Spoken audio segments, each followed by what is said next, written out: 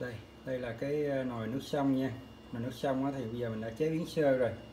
Mấy cái lá ờ, dược liệu mình cắt nhỏ nhỏ nhỏ ra để cho cái nồi nó, nó, nó gọn lại. Gừng mình sắc lát mỏng. Chanh mình sắc rồi mình bỏ nước vô trong rồi lấy vỏ luôn.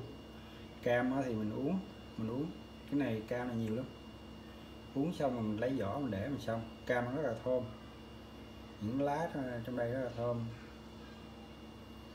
như ờ, tầng dày lá rất là thơm nè đinh lăng cũng rất là thơm, một loại là hương ờ, rất là thơm.